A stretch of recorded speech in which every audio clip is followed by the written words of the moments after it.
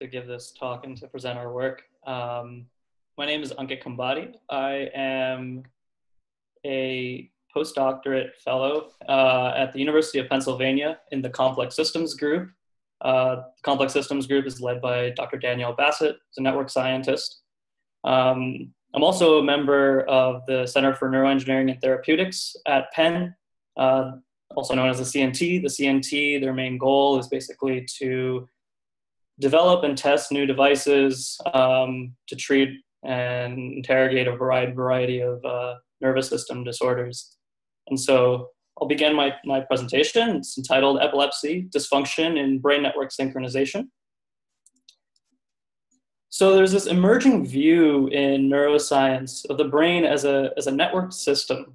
And you can have these interrelated regions of the brain that do function, functionally specific computation um, but the individual functions of each are tightly linked to other areas that have different uh, functional goals and responsibilities. And from a graph theoretic perspective, this network um, is often modeled as a collection of nodes, where each node is a brain region, and a collection of edges between those nodes, um, which represents some sort of form of communication or interaction between these areas. And conventional models of this network system of the brain actually exists across a variety of spatial scales. And so if you look on this plot on the left, um, it's pulled uh, from a great paper by Park and Friston, 2013 in Science, um, essentially shows various scales of brain networks look observed at, at um, coarse to fine grain um, structure. And so at the coarsest scale, you can imagine that you have these these large regions of the brain that do function-specific computation and interact uh, over several several centimeters. Um, but then you can also have these micro-scale networks of connectivity uh, between individual neural populations or individual neurons themselves.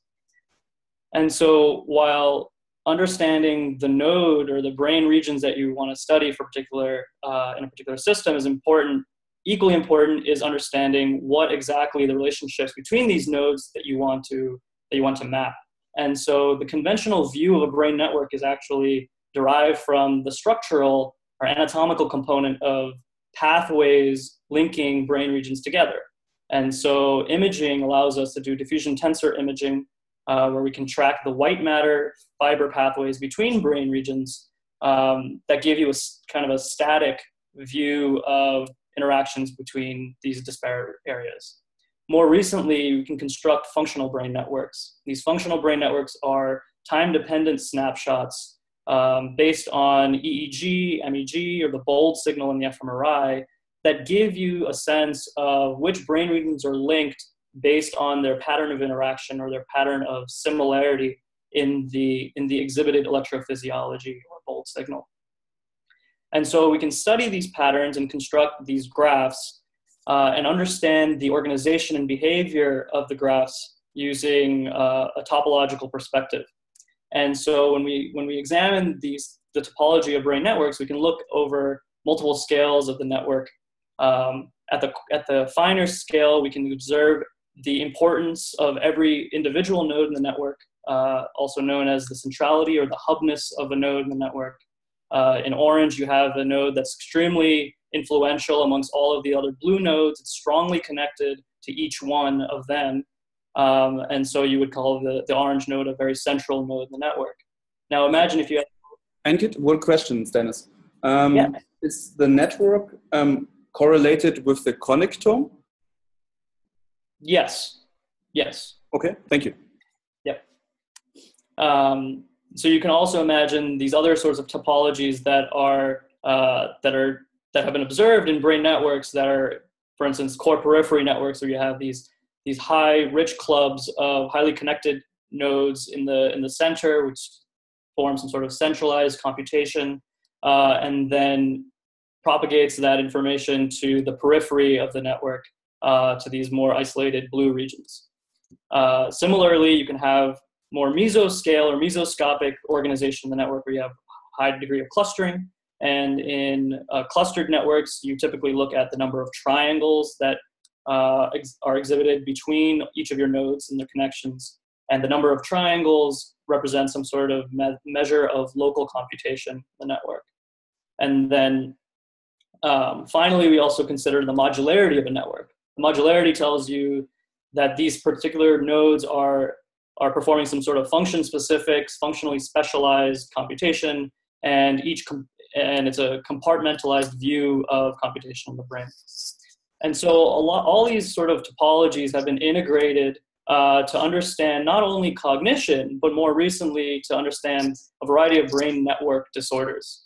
And so they've mapped these topologies to brain dysfunction in Parkinson's, depression, schizophrenia, and they've implicated really more local circuits in some of these diseases and more distributed broad circuits in others, such as in schizophrenia, where you don't have necessarily one single area of dysfunction, but rather the overall topology of the brain um, together uh, is quite different than when you compare it to healthy controls.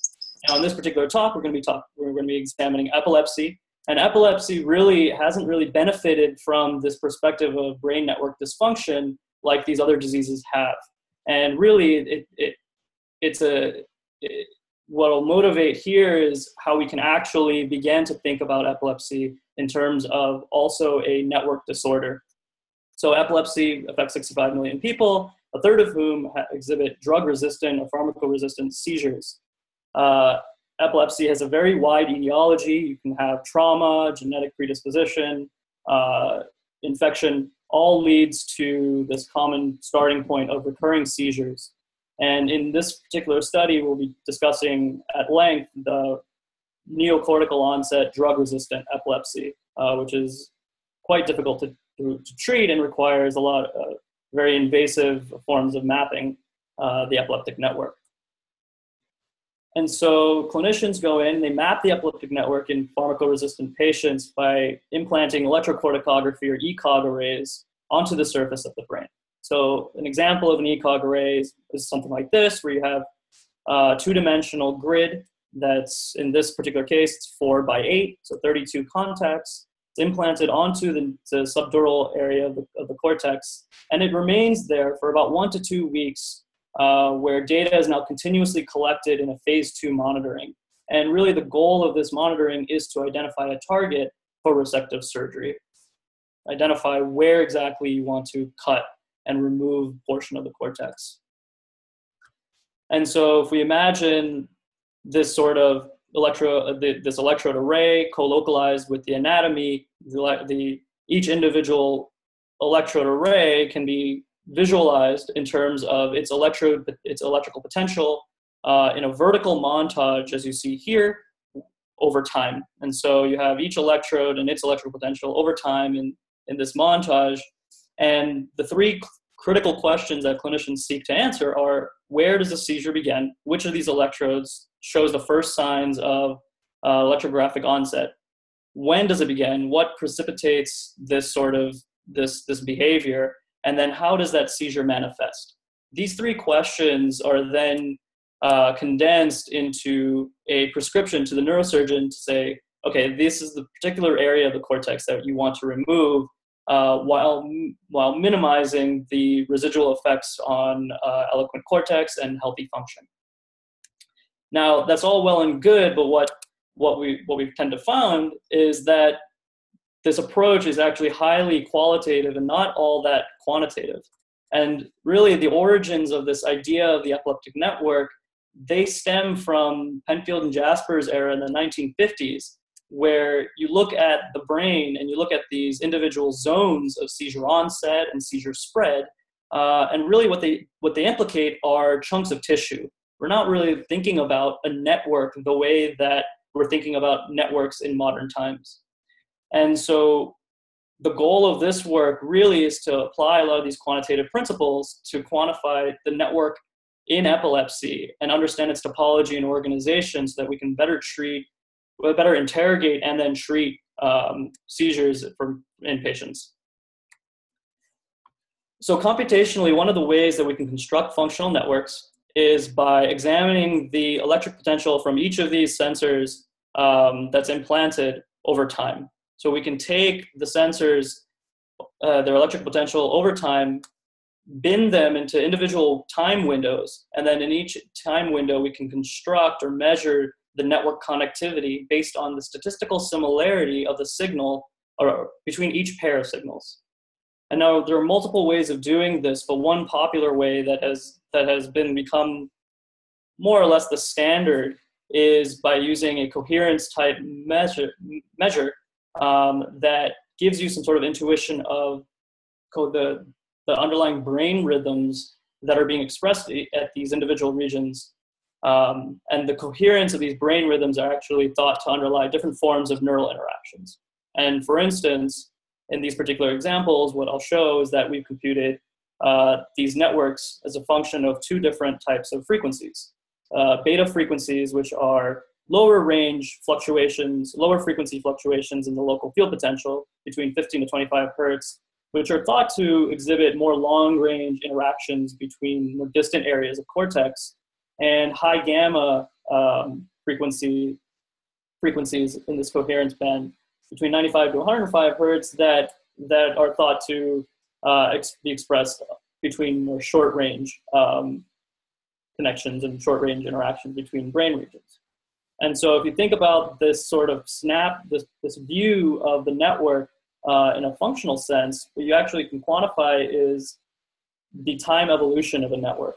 And so what we've plotted here is really these measures of the functional connectivity of the network evolving with time. And so what the intuition behind this is that regions of the brain or these electrodes that are connected in red uh, actually exhibit a very high degree of interaction or high degree of connectivity. Um, and colors in yellow represent regions that are more weakly connected to the other to those regions in, in red. And what you're seeing here is actually the network connectivity as it evolves through a seizure. And what you find is that this, this highly connected, strong region uh, in red is actually aligned with the area of the seizure onset zone as marked by clinicians.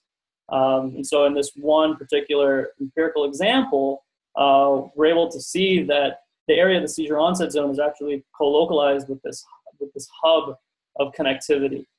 And similarly, as the seizure begins to evolve, you'll see projections to subtemporal regions and frontal pole um, of weaker, weaker connections um, from, that, from that rich club.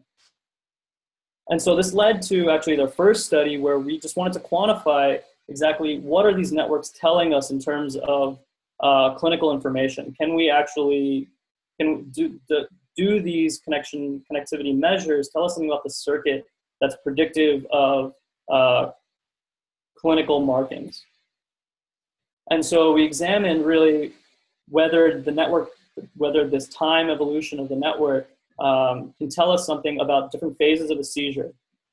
And so by quantifying each individual snapshot of the network and using an unsupervised classification paradigm where we look at the topology of the network and cluster the topology of the network over time into different states, what we're actually able to find is an objective characterization of seizures into several different network states. And these network states actually aligned quite well with the classical notions of the onset, the evolution, and the termination of the seizure. And so if you look on this example seizure on the left, you'll see the, onset state is in yellow green, then this evolution state is in blue, and then this termination phase is in, is in dark gray. And each of these states is actually associated with a distinct network topology um, that's associated with each of these phases. And so we were able to actually objectively quantify these different phases of seizure. But what about the topology? What about the actual markings of where the seizure begins and where it evolves to? So one way that we can that we that we tested whether our network was actually giving us useful clinical information was by aligning the networks with clinical markings of the seizure onset zone. And so from this perspective of these nodes of each individual electrode sensor, we could classify every node as being in a seizure onset zone as marked by clinician or being outside the seizure onset zone. And so based on that binary classification, we're able to actually identify three different types of connections. You can have connections that are between nodes within just the seizure onset zone, so those are in red. You have connections that are between the seizure onset zone and outside, which are in blue. And then you have finally connections that are only amongst nodes that are outside the seizure onset zone in yellow. And what you find is if you look at the average strength of the connections within these three groups, between the three different phases of seizures, across several seizures, what we find is that there's a distribution of this average connection strength that is highly stereotyped, that highly stereotypes the connections that are actually within the seizure onset zone relative to everything else. And what this tells us is that the seizure onset zone is actually this highly connected, very strongly connected hub um, that is weak everywhere else relative to the relative to the seizure onset zone. So really, what we what we motivated in this work is um, the use of these sort of network measures as potential features in a classifier that one could use to objectively parse out different areas of, of the epileptic network. Sorry, um, quick quick question. Yeah. How how big is the grid you inserted for this data set? Um, it varies by patient, but on average, we had a range between 80 to 120 electrodes. Okay, great. Thank you. Sure. Um, so based on based on this sort of understanding that that okay, our network is actually giving us relevant clinical information based on the connectivity between these different regions, we can ask more far-reaching we can ask further questions to further highlight what's actually going on mechanistically during seizures. And this is really where um, the novelty of the method can be tied to novel neurotechnology. So there's this, there's this recent craze in, in epilepsy and, and clinical epilepsy of using implantable devices to treat um, drug resistant patients who aren't good candidates for resective surgery. And so using implantable devices such as those developed by the NeuroPace or uh, those developed by NeuroPace, um, you can implant these chronic these devices chronically and deliver stimulation in response to a detected seizure. And so these implanted devices actually take place or are housed in much broader brain-computer interface systems. So you can imagine a digital acquisition system that's wired up to the brain and is compact, maybe perhaps um, implanted in the chest, uh, and in real time is recording your epileptic activity. And based on an algorithm, a detector of that of a detected seizure can responsibly stimulate a certain port of the network uh, in response to the seizure. Now, one of the challenges that such a device faces is in really an incomplete understanding of where exactly to stimulate a lot of current applications based on um, prior knowledge say, let's just stimulate the seizure onset zone. But that often doesn't lead to the best course of outcome in these patients. and really, what we're, what we're trying to motivate here is how can we use this network approach to better identify a clinical target uh, in conjunction with the use of these devices or perhaps even resective surgery to more strategically intervene in the network. And so one one critical question that comes about this um, is has long been elusive to clinicians is really how do we contain a seizure? So you imagine that patients exhibit often two forms of seizures. They have focal seizures that begin in one circumscribed area of cortex and then kind of spread to nearby areas and then fizzle out. They don't often spread to these other electrodes um, down here. However, you have these distributed seizures or seizures, focal seizures that secondarily generalize that actually also start in focal areas of the cortex, but then spread quite rapidly to surrounding cortex. And so you have this diffusion process through the network. And associated with this diffusion is recruitment of healthy tissue um, that's otherwise responsible for normal function, motor function, cognitive function, um, that gets recruited into the network. And over time, becomes incorporated actually into the seizure network and become secondary sites of dysfunction. And so the critical question that we wanted to ask is how do how does the network support this sort of distributed uh, passage of seizures um, in one case, but then is able to limit the spread of seizures in this other particular case in the focal network. By understanding this sort of mechanism of control, we can perhaps better identify interventional strategies that can leverage the organization of cortex to actually contain seizures just as uh, just as is the case in focal in the focal seizures, but not necessarily in the distributed seizures. And so, a key uh, critical question that we wanted to ask was, can we identify network mechanisms of focal focal onset seizures that spread versus those that do not spread? And so, in order to do this, we actually leveraged a we actually leveraged um, online publicly available data uh, as a part of the International Epilepsy Electrophysiology Portal. It's IEEG.org. Uh, it was developed by my PhD mentor, Brian Litt, um, and it houses something on the order of thousands of data sets um, of epilepsy electrophysiology from humans as well as animals um, that are well annotated um, with the goal of crowdsourcing algorithms to better help epileptologists do their job of detecting seizures um, as well as intervening at certain at particular points. And so from this electrophysiology portal, we pulled a handful of patients that exhibited um, both secondary uh, focal onset seizures and focal onset seizures with secondary spread. And we examined and we constructed functional network functional networks in each of these patients, and then observed observed uh, differences in their topology throughout. And so the first critical question that we ask is how susceptible is the epileptic network to seizure spread? Can we quantify the susceptibility in some way? And so to begin, you can consider is that networks really, their job or their goal is to underlie some sort of communication between different regions of the brain.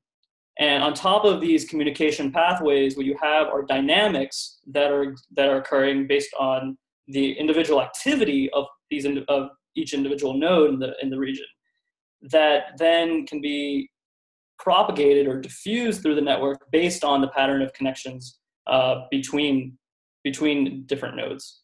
And so if you envision two different types of topologies in this toy network, on top you see a network topology that has more homogeneous structure, um, that, that there's more order and, and more distributed connectivity throughout the nodes. Whereas on the bottom you have less hetero, less homogeneous and more heterogeneous connectivity profile. And now imagine that in both cases you had a seizure that started at the same node.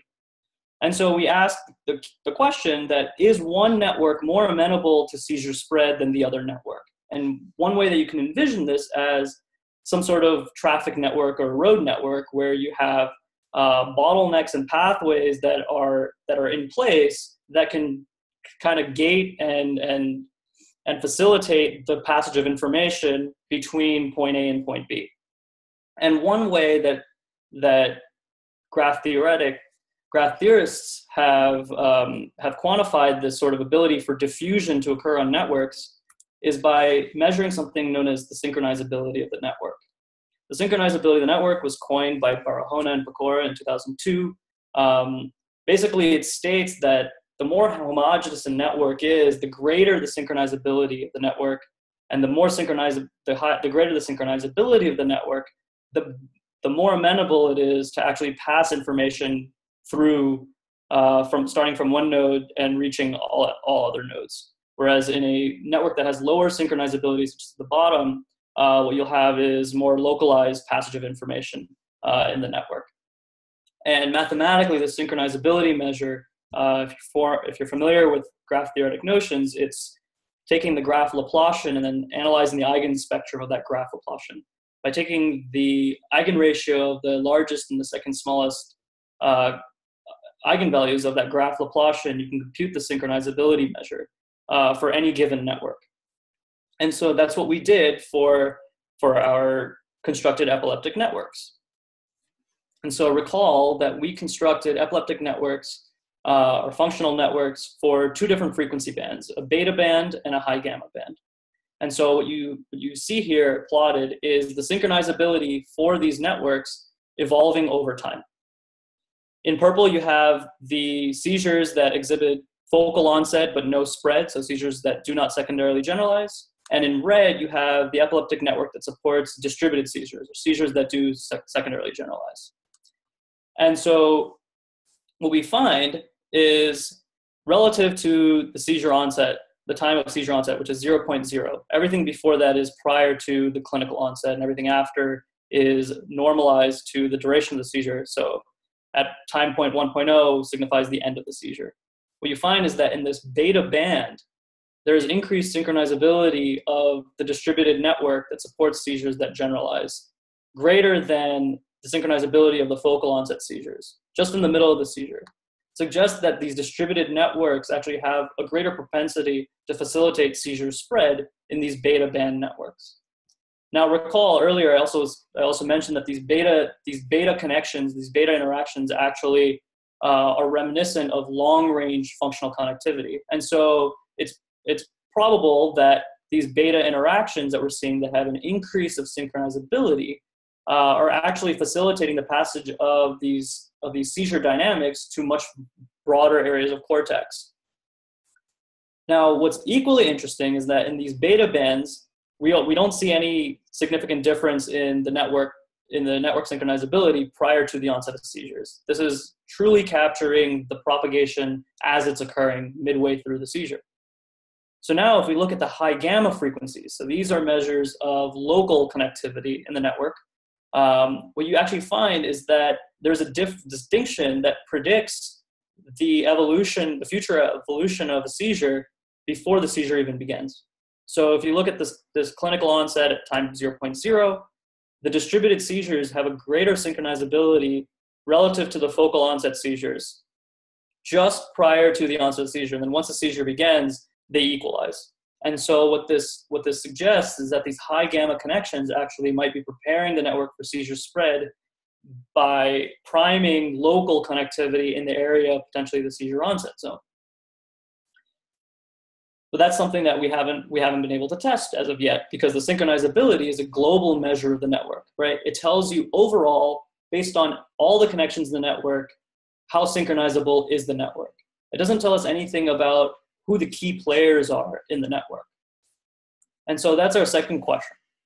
That are some network regions more important controllers of spread than others? Is there is is is the spread through a network a heterogeneous uh, quality or trait of the network or a distributed trait of the network, or are they are there important key players that are better at facilitating spread than others? So in order to test this hypothesis, we developed a new computational tool called virtual cortical resection of the functional network. And basically in this tool, you can take, you can have in, a, in, a, in your baseline network, you can iteratively remove individual nodes from your model and test what the resulting change in the synchronizability of the network is as a result of that node removal. And so what that what this what this approach actually identifies is regions of the of the network that are synchronizing or desynchronizing. And so for instance in this toy network here that's shown on top, uh, you have your baseline network, and if you remove this green node here, what actually ends up happening is your synchronizability jumps up. Synchronizability increases. And so what this suggests is that its node role in the original network is to desynchronize the network. It actually, its role is to lower the, the synchronizability of the network. Similarly, if you take the purple node or the orange node, when you remove those nodes, you actually tend to decrease the synchronizability of the network, which in contrast to the green node actually is termed a synchronizing node because its role is to actually improve the synchronizability when it's integrated in the network.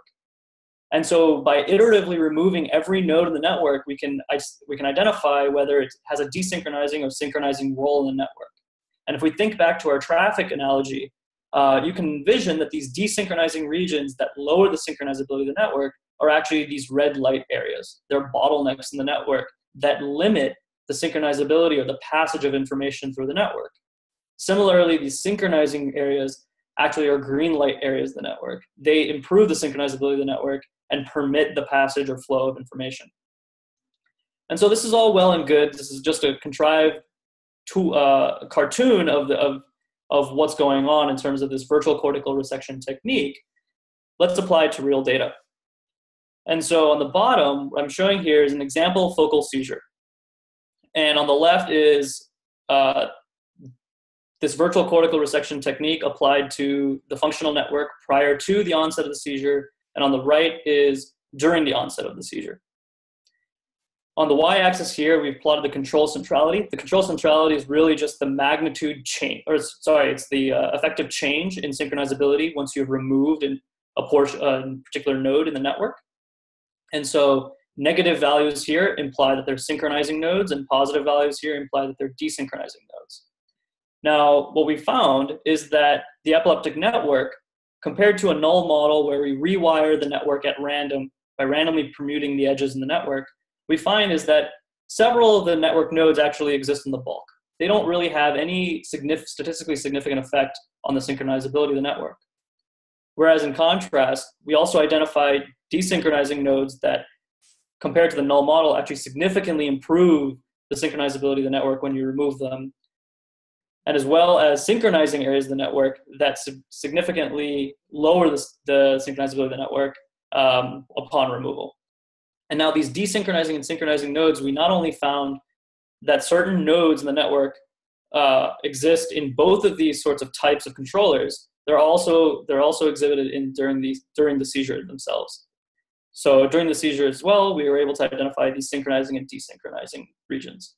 And so what we infer from this is that there is a heterogeneous profile of synchronization controllers in the epileptic network. It's not necessarily true that every single node has the same effect on governing or regulating the synchronizability of, uh, in the network. So what does this mean in terms of the ability for a network to facilitate seizure spread or not? So one thing that we found was that the seizure type can actually distinct can actually be distinguished by this virtual cortical resection technique.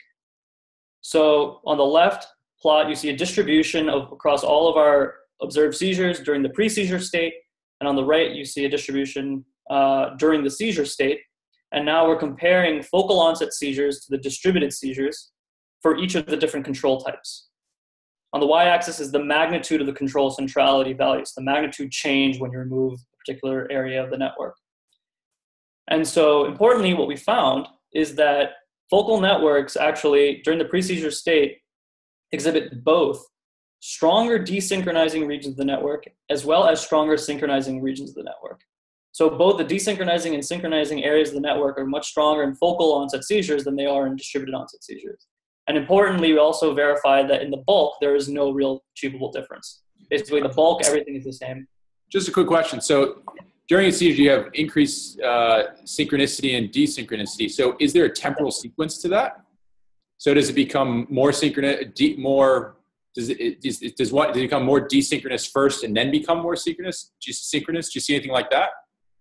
Yeah. So um, it definitely depends on the different phase of the seizure. Here we've we've coarse grained across the time points in the se- uh, during the seizure. But yes, during the beginning of the seizure, you you certainly see more uh, of a desynchronous effect, and then once as the seizure progresses towards the end, when you especially when you have your clonic firing during the end of the seizure, you see a more synchronous effect. But overall, during the during the pre-seizure state, um, you see a little bit of both the desynchronous and the synchronous. Now, if we look at even during the seizure, what you do find is because we've coarse grained this across all time points during a seizure, um, you do see both the desynchronous and synchronous effect um, of these individual regions. But what's interesting is that your effect size changes drastically compared to your pre-seizure period. So during your seizure period now, your focal onset seizures become extremely desynchronizing relative to your distributed onset seizures or relative to your distributed seizures that, that do spread this effect size is, is, is, changes greatly and improves in the desynchronizing for the desynchronizing nodes. For the synchronizing nodes, there's still stronger synchronizing controllers in the focal onset seizures than in the distributed onset seizures, um, but but there's no change. There's no achievable change in the in the actual effect size. And so, what this leads us to conclude for seizure type is that these desynchronizing and synchronizing controllers are actually stronger in the focal network uh, and their strength, at least for the desynchronizing areas, actually increases from pre-seizure to, to, seizure. And this allows us to, to come up with a theoretical framework for why this might be so. We come up with a sort of push-pull hypothesis of the synchronizing and desynchronizing controllers in the network, where the desynchronizing and synchronizing controllers are actually at odds with one another. in one for the desynchronizing controllers, you're trying to pull the network in one area of the synchronizability regime, and in the other case, for the, for the desynchronizing uh, controllers, you're trying to put, pull the network in the other side of the synchronizability regime. And so you have this push-pull mechanism of both of these push, uh, both of these sync and desync areas that are actually seeking to achieve some sort of homeostasis of network synchronization. Now, what's important is that we observed for the focal onset seizures that overall, prior to the onset of seizures, their synchronizability is at a baseline lower than the synchronizability of the, um, of the distributed seizures. And so what this suggests is perhaps that this increased desynchronizing effect relative to the synchronizing effect may be responsible for actually pulling the network a little bit more towards the lower end of the synchronizability spectrum than for the distributed onset seizures. so these individual control profiles are different between the focal and the distributed onset seizures. And the question is, where are these where are these controllers located in terms of what's clinically known about the epileptic network? And so we can observe finally the regional distribution of these controllers in the network. So on top, we have again the pre-seizure, um, the pre-seizure epoch, and on the bottom we've plotted the seizure epoch. And on the left, we look at the distribution of desync, bulk, and sync controllers only within the nodes that are in the clinically defined seizure onset zone. And on the right, we look at the, the distribution of these control types within the surrounding areas, so areas that are not in the seizure onset zone. And so what's interesting is that both during the pre-seizure and seizure states, there's no difference in the seizure onset zone in terms of these desync and sync, uh, in terms of the distribution of these desync and sync controllers. Really, the widest distribution that, that we see is in the surrounding areas. And so what this leads us to conclude is that this push-pull effect is actually occurring in the surrounding area of the cortex and not in the seizure onset zone really a similar similar concept exists in um, in basic neuroscience where you have this idea of surround inhibition in the epileptic network where you have the onset of the seizure and its eventual propagation or um, is potentially inhibited by activity in the surround and so what we what we what our data suggests is that these desynchronizing and synchronizing controllers may be um, network mechanisms for this sort of surround inhibition.